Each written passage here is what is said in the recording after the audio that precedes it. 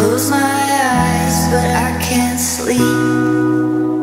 I, I'm drawn to the heat and I'm curious. You whisper words, but you don't know the danger. I burn up the slightest touch whenever